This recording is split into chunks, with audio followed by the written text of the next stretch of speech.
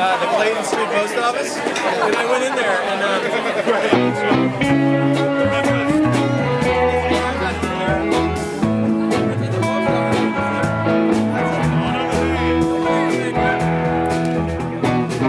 Gone are the days when the ox fall down. Pick up the yoke